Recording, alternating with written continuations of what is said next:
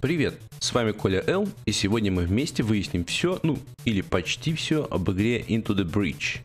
Если что, это микротактика с прокачкой юнитов и элементами роглайка. Скажем так, усложненные шахматы с мехами и кайзю монстрами, которых тут называют век. Дисклеймер. Ключ мы получили от разработчиков, так что имейте это в виду. Да и каких разработчиков? От создателей, мать ее, FTL Faster Than Light. Короче, от легендарных инди-чуваков, которых мы с Колей-то обожаем уже почти 5 лет. Сразу после анонса Into the Breach, а он случился где-то год назад, я занес ее в виш-лист. Обожаю небольшие быстрые тактические игры, в которых при желании можно поломать голову. Да и тематика просто изумительная. После просмотра Pacific Rim такую игру очень непросто пропустить.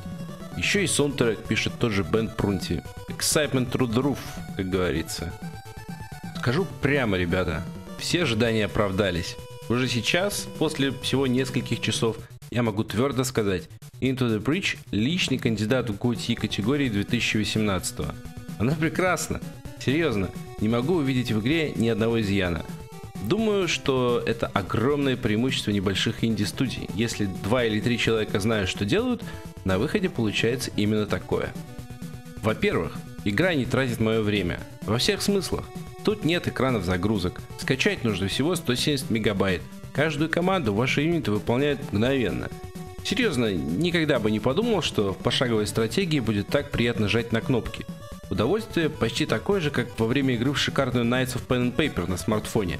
Никаких ненужных консцен, только постоянное напряжение извилин и дофаминовые всплески от того, как ты ловко скинул в воду сразу двух сраных жуков. Ну или фрустрация от очередного поражения, которое быстро проходит, потому что для начала новой игры нужна всего пара кликов. Получается как э, в цивилизации или XCOM. Не игра тратит ваше время зря, а вы сами с радостью тратите время на нее. Даже если это означает еще один бой, еще одна компания, а на часах уже 4 утра.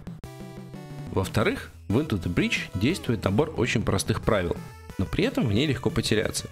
У вас есть три меха, например, мили, рейндж и артиллерия. Это зависит от выбранного типа отряда, а они открываются за монетки, полученные в ходе выполнения разнообразных достижений. В каждом сидит пилот, который получает опыт и новые перки, на каждый можно навешивать новые способности и оружие.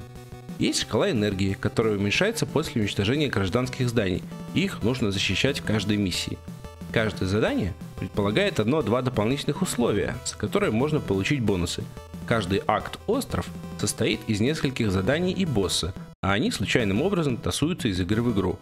Островов всего 4 плюс финальный. Типов врагов огромное количество, типов мехов и оружия еще больше. Частенько в уме надо держать всевозможные катаклизмы, наводнения или там землетрясения. В общем, почти каждый ход – это возможность блеснуть вашим тактическим умом. Ну или красиво прошляпить лучшего пилота. Кстати, одного из выживших в конце кампании пилотов можно взять следующую. Со всем его опытом и способностями. В любом случае, мне кажется, лучше играть на изи. Игра хоть и гораздо проще в TL, а сессия в ней занимает гораздо меньше времени, но даже на нормал я частенько как дурак загоняю себя в тупик. В-третьих, атмосфера. Как и в 2013 в FTL, Музыка здесь идеально дополняет ретро-графику, а сама эта ретро-графика сделана практически безупречно. Ну, надеюсь, вы и сами видите, такие спрайты и такой UI на дороге не валяются. А еще восторженные возгласы, которые раздаются из гражданских зданий, это просто... Пап, смотри, они нас спасут! Это рифтволкеры! Покажите долбаным шукам! Сразу должный настрой образуется.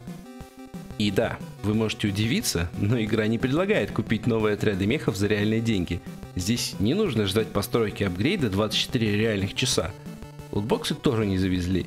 Никакого вот этого вот современного говна. Есть игра, играйте в нее, получайте награды в зависимости от степени успеха.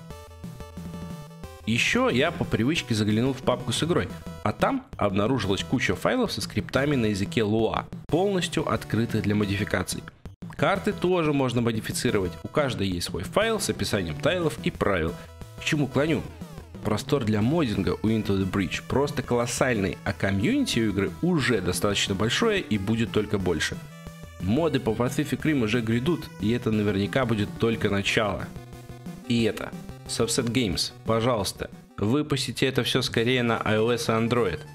Там таких игр очень не хватает. Игр, которые уважают игрока. Игр, которые в первую очередь требуют тактического мышления, а не тупого гринта или покупки ящиков. Игр, которые говорят тебе, на следующем ходу случится сразу 5 катастроф, а у тебя только 3 действия, чтобы их предотвратить.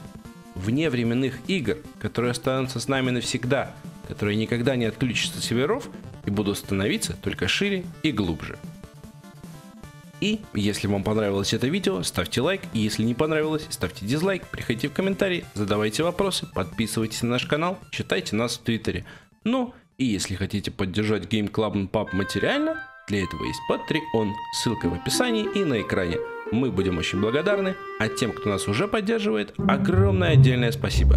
Играйте только в хорошие игры. До встречи!